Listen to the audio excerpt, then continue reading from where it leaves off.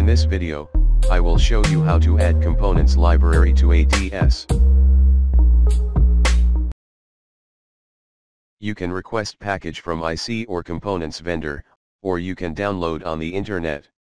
Example, you can go to Murata website, then you can find the S parameter or design kit then download to local computer.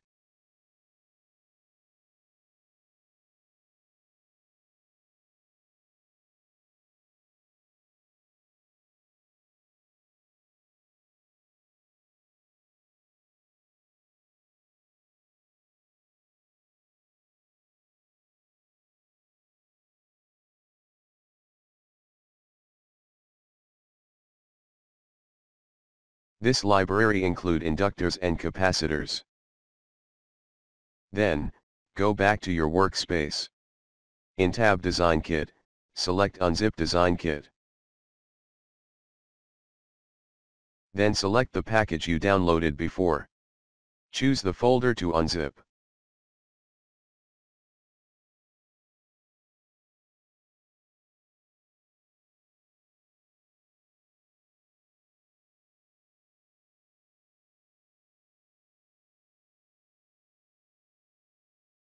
You can add this library to workspace automatically.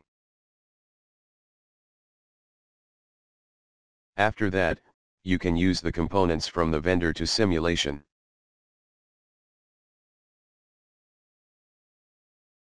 Example, I will use this components in this library to design a high-pass filter.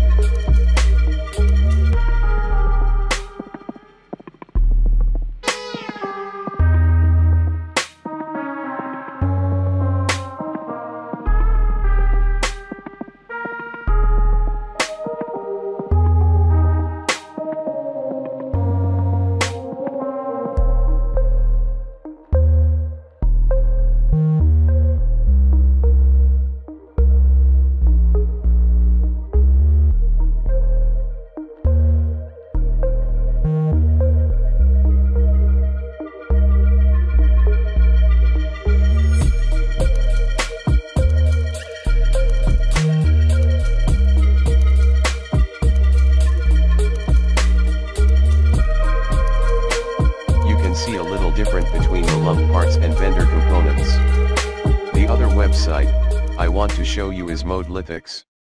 You can see many manufacturers. Many information you can get. That's it. This is all I want to show you, how to use components library in ADS. Please subscribe, share and let me know which topic you interest in next videos. Thank for watching.